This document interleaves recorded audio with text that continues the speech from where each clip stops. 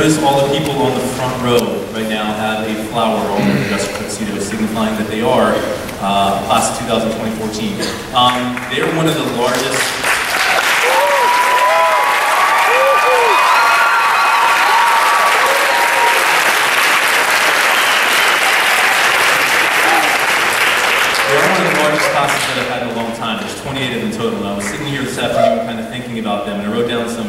some, things just because I want to brag about them a little bit. Out of those 28, 15 of them have been in uh, chorus at Hickory High School for all four years. Uh, but you know, sometimes it really just legitimately doesn't work out to, to, to stay in chorus. And there are, uh, contrary to what usually happens, three of them actually did leave chorus for a year. We were able to fit back in their schedule and clean back in.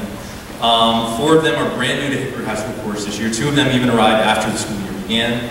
Um, in addition to chorus, one of these seniors is also in the band. There's another senior that's also in orchestra.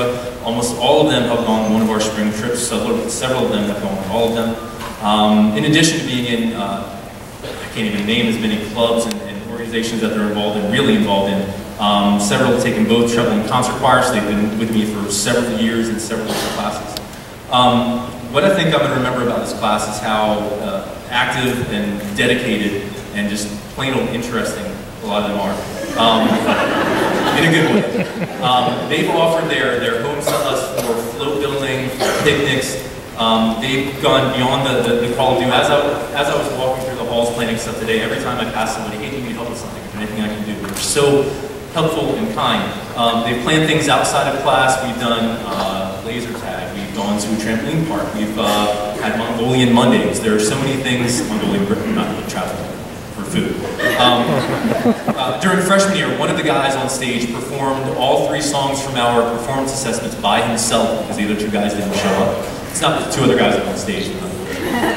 Um, uh, we had, uh, even had a, uh, a musical promposal during uh, one of our classes from one senior to another. She said yes.